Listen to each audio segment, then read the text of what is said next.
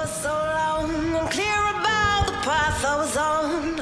I was breathless, my heart restless.